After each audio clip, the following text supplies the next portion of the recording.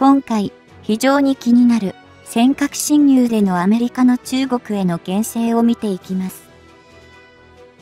アメリカ国防総省は、はじめ、日本領土とはっきり明言していますが、その後は、バイデン政権の今後の政策は、どちらに優位になるのか、台湾や日本の、今後は変化していくのだろうか。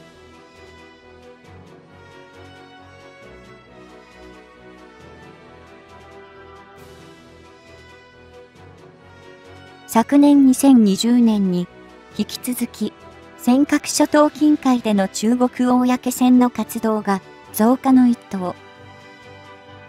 辿っているが2021年2月20日21日の両日にわたっては領海への侵入行為が発生するなど危機感を募らせている。この20日、21日にそうした行動に及んだのは、中国海峡局に所属する2隻の艦艇であり、日本の民間漁船を追尾するような形で、領海内に侵入する行為を意図的に引き起こしている。中国政府は、自国の海峡局に関する法改正を、この2月1日から施行させており、自らが必要と認めた場合に、同局職員の個人形態の重火器や艦艇に、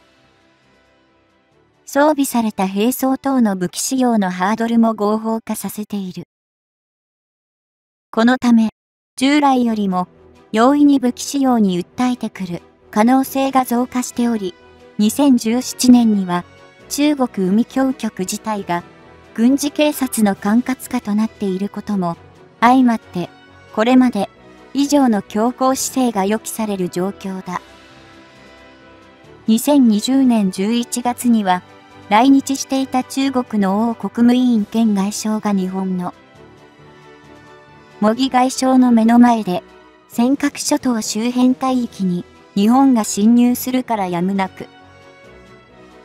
対応していると発言し、これに反応しなかった模擬外相に、批判の声が上がった。一応、外務省側の見解によれば、この時の王国務委員兼外相と模擬外相との記者会見では、日中双方が自国の見解を主張する場であり、議論をする場ではなかったとの見方を示している。しかし、目の前で日本の政策を完全に否定する発言をする王国務委員兼外相を放っておいたのは、その主張を認めたことも同様な上、模擬外相が中国語で、謝意を示した点に非難が集中した。こうした尖閣諸島をめぐる中国側の強硬な姿勢は、今回の日本漁船を追尾しての領海侵入でも明らかとなってきており、政治上からも、現場運用からも激しさを増していることは、拭いようがない事実と化している。今年2021年2月8日の中国外務省の広志副報道局長の記者会見では、中国海峡局所属の艦艇は、尖閣諸島海域で法に基づく正当な措置を講じていると述べており、先の海峡法改正を盾に、その行いを正当化している。その上で、尖閣諸島を中国固有の領土であるとの従来の見解を示し、本来中国の領土であった尖閣諸島は、日清戦争の結果、台湾と共に日本に奪われたものとする中国政府の持論を改めて誇示した。こうした状況下で、アメリカ国防防総省のカービー報道官は2月24日に、尖閣諸島に日本の主権があると認めて、中国の行動を非難する旨の発言を、記者会見で発表、日本を援護したかに見えた。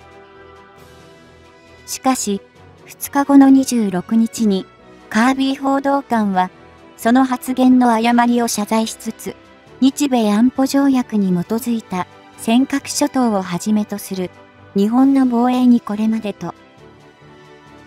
同様にアメリカが関与すると述べるに止まった。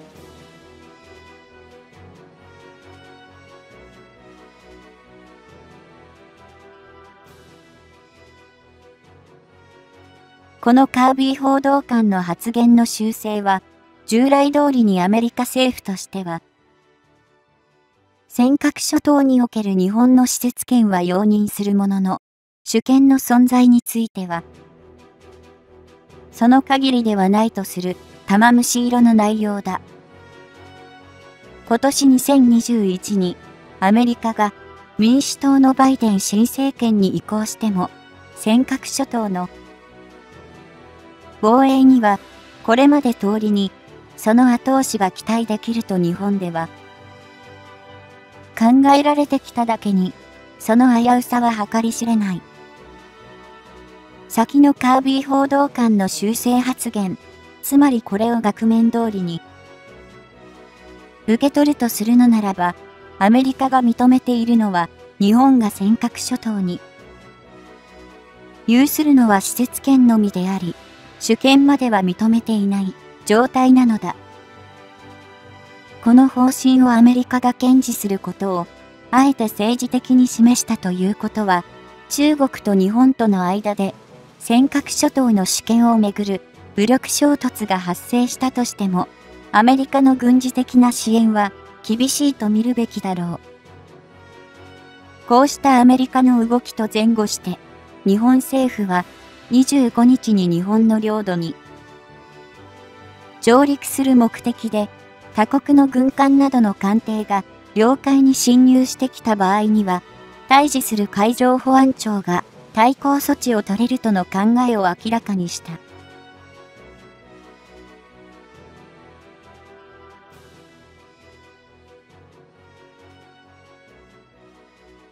これは現行の海上保安庁法における海上保安官の武器使用を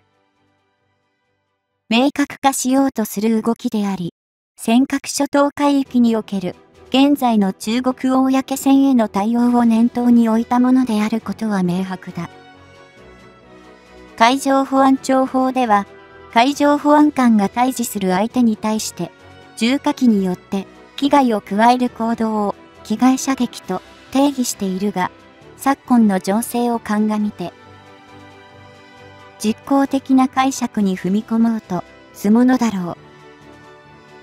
大枠において、海上保安庁法は、海上保安官が犯人の逮捕を行う場合や、その逃走を阻止するための武器使用を認めており、警察権限の一部として、職務執行上の範囲に含んでいる。しかし、被害射撃に限定した場合には、まず正当防衛であること、次に、非常に凶悪な犯人を逮捕する場合にのみ、これを行えるとしており、その解釈によって是非が問われることになる。今回日本政府が示した見解は、具体的には、尖閣諸島に中国側が上陸する。目的で、艦艇による領海侵犯を行うことは、非常に凶悪な犯人を逮捕することにあたるとみなすことを意味している。さらに、海上保安庁による対応が困難と判断され、海上自衛隊に対して、海上警備行動が発令されるケースでも同じく、被害射撃を認めるとしており、より抑止力として対応を強化する解釈と言えそうだ。